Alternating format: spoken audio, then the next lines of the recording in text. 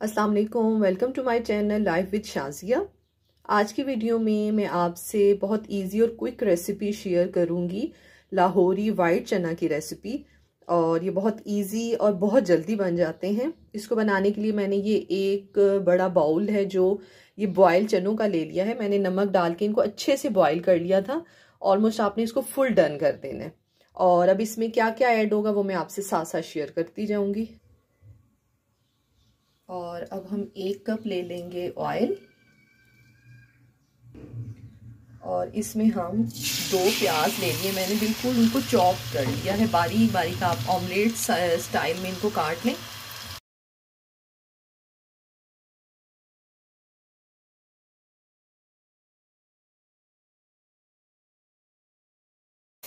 और अब हम इसमें डाल देंगे एक टेबल स्पून अदरक और एक टेबल स्पून लहसुन।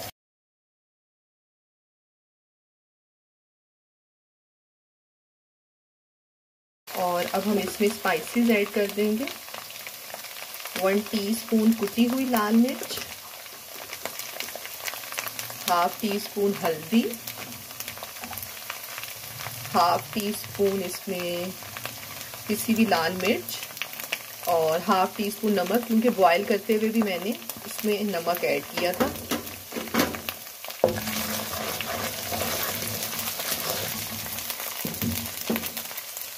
और जैसे मसाला भून जाएगा, फिर हमने इसमें टमाटर का पेस्ट ऐड कर देना। मैंने दो से तीन टमाटर ले लिए हैं।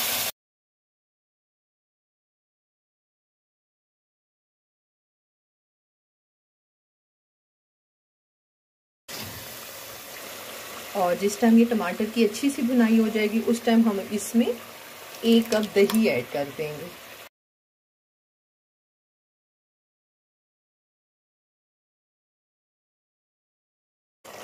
और ये दही के साथ भी अच्छी सी भुनाई हो चुकी है। अब हम इसमें डालेंगे हाफ़ टी स्पून गरम मसाला।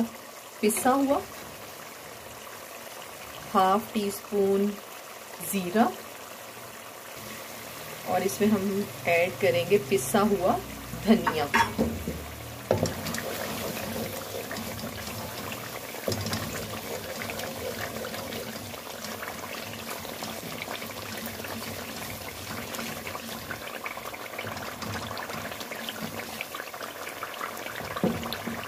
और अब हम ये थोड़े से मसाले की भुनाई करेंगे।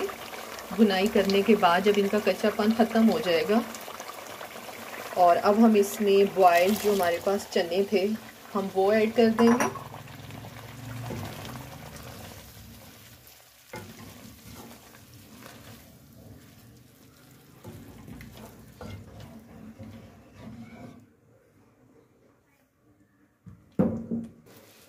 और इसमें यही जो चने बॉईल करते वक्त पानी रह गया था, वो वाला पानी मैं इसमें ऐड कर दूँगी।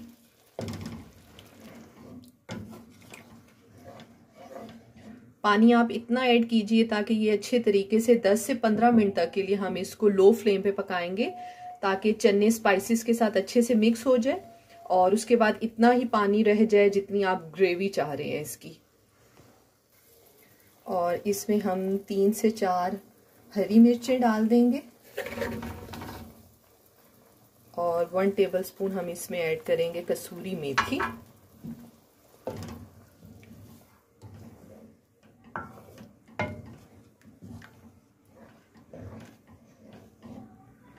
अब हम इसको 10 से 15 मिनट के लिए मैं लो फ्लेम पे कवर कर दूँगी ताकि ये अच्छे तरीके से इसकी ग्रेवी बन जाए।